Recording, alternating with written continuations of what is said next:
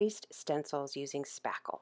I start out with a small project to show you how to practice, and stay with me till the end when I show you the finished product. Enjoy.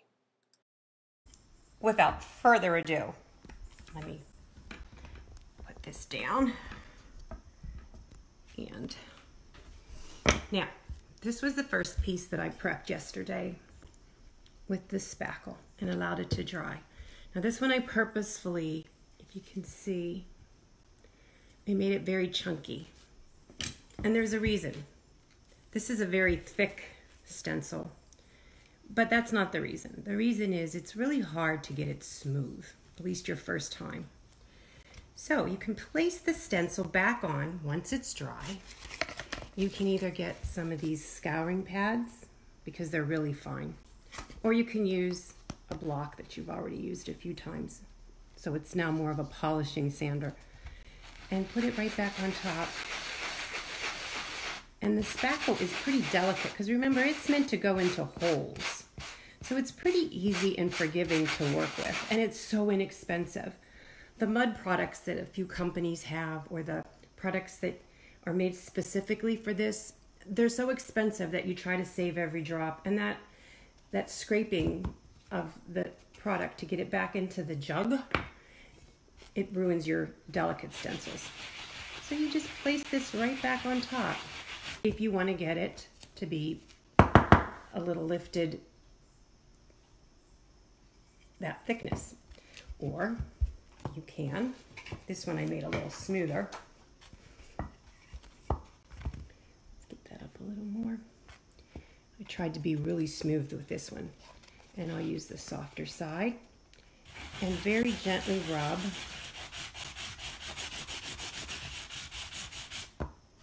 and then buff. And you can see those lines are coming out. If you want to press harder put the stencil back on. That way it won't let you go down too far. But again, you have to be careful with the stencil back on because you're now sanding a stencil. So watch those little, this one doesn't really have those fine unattached edges like some of them do. So you can be a little rougher and get it very smooth. Now you can paint underneath. It all depends, you know, your final, what you're going to be doing. These I did for example and like I said, I recommend you practicing. So let me just show you. We'll do another, oh, he doesn't fit. Do a little lizard. Let's see. Okay, Mr. Lizard. You're kind of cute. Kind of cute. So for Mr. Lizard, he's kind of small. Open up the spackle, and again, it is just spackle. You can get it anywhere. And you literally, it's so simple. And because spackle is forgiving, unlike the paint, if you get some of it underneath, it just will scrape right off and you're going to paint. Now because this stuff is not expensive, I'm not worrying about leaving some of it on the stencil. Um, unlike paint though, you want to take this off once you're done. And you don't want it to go down the drain, so either hose it outside or use some baby wipes or lots of towels or something. Because you don't want to have to call Roto-Rooter. And you can't spackle out your your plumbing. Now see, I'm trying to get this one really smooth so it will require less. And look, that's all you do. And then you just let them dry. So simple. This So here are the few blocks that I practiced on that I just showed you. And I do recommend practicing. It's not too hard. It is just like icing a cake. And here were the practice pieces before I sanded them. And then here next is the first piece that I tried it on. This was an end table I literally found on the curb. I put it back together. I painted it with sunrise color from Junk Monkey. I'll list that below. And then I tried this process, and this got me hooked. A year later, this piece looks just wonderful, a little bit aged. And here's a sneak peek of what I'll be showing you. So I hope you stay with me, and I will put some timestamps below if you want to jump ahead. And I do go fast speed through some of it when it gets a little boring. So enjoy and leave me comments and questions. And I'll be doing another one real soon because I'm getting better. Can you stand it? This is the one I already used on my nights on my um, end table. That was a junk find on the curb.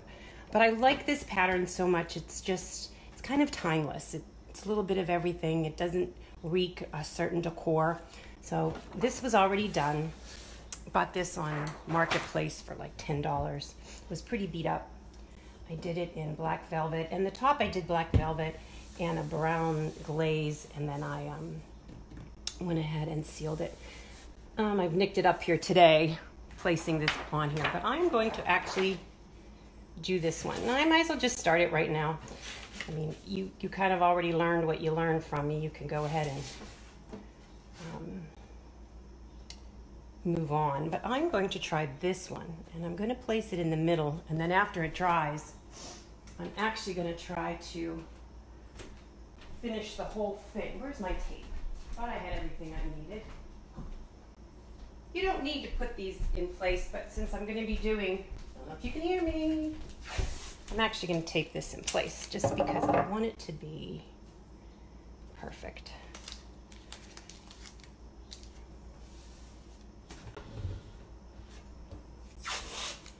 It's probably crazy.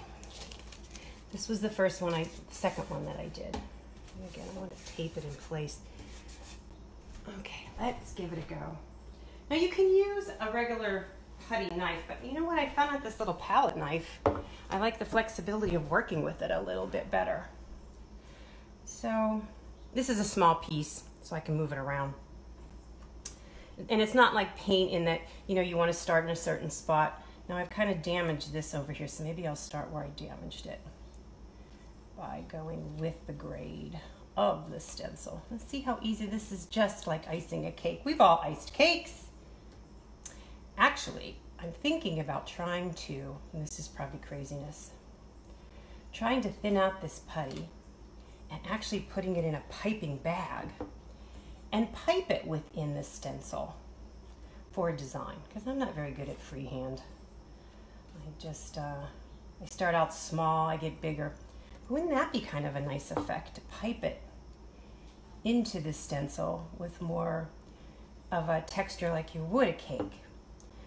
I don't know what you would, um, I'm going to experiment with this medium, seeing how to, and I digress here because I don't want to damage this stencil. I am laying it on really thick. And I, you can get putty at the dollar store.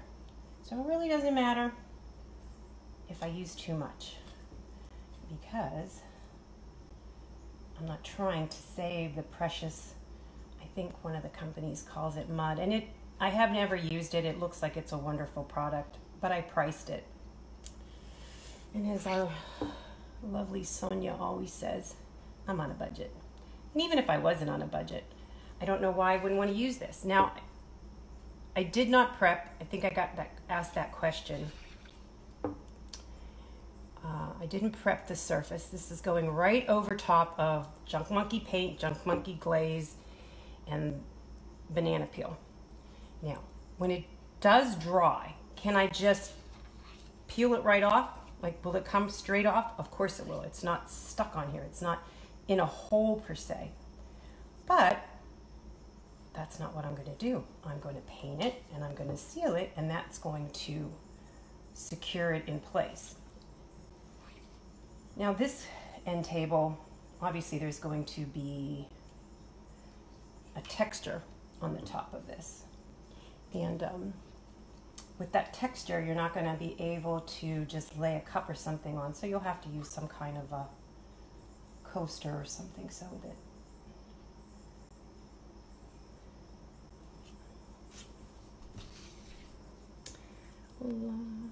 this is actually just as fun as painting.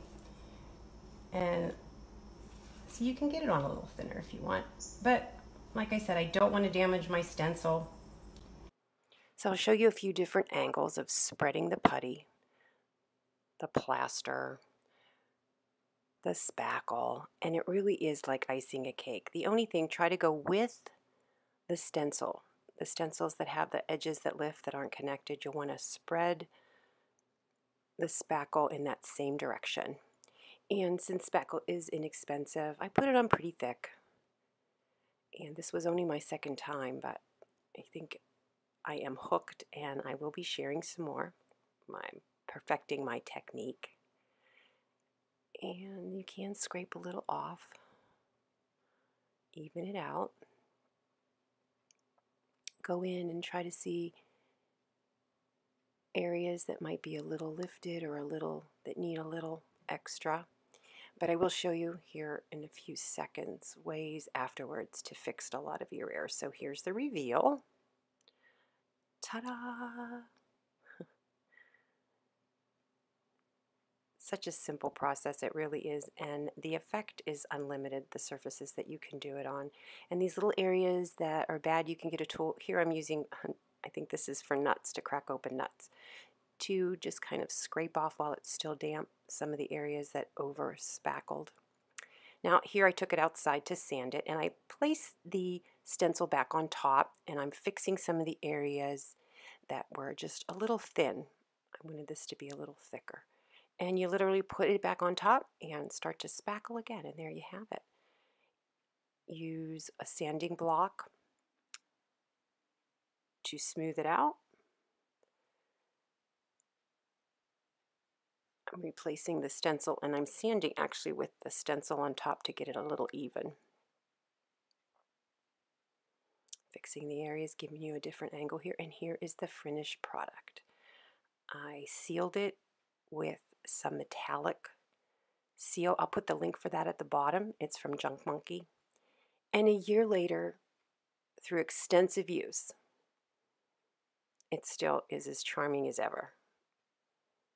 I hope you enjoyed this, and I'll be posting more with my more perfected technique. Enjoy, and let me know what you think in the comments. Thank you.